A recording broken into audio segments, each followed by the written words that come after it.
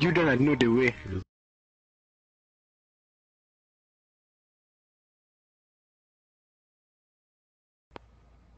Oh